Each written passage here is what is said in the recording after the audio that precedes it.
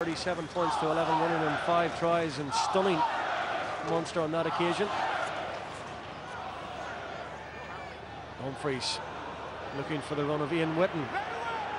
Playing, of course, at 13 tonight on the outside of Paddy Wallace. Humphreys. Andrew Trimble, Danielli. Danielli against Stringer.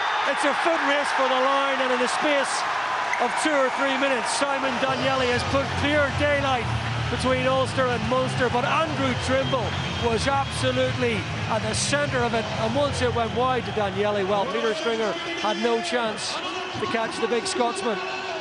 Well, if the first try was fortunate, this was extremely well put together by Ulster, but uh, Jean de Villiers, you have to say, missed the tackle on his inside on Andrew Trimble, and once Ulster had made that uh, line break, Trimble getting in behind de Villiers, putting in the pass, and Danielli finishing from 30 metres, but again, super offload there from Humphreys. Uh, Jean de Villiers just shot up too quickly, missed him on his inside, and uh, Peter Stringer really was always struggling when he was corner flagging.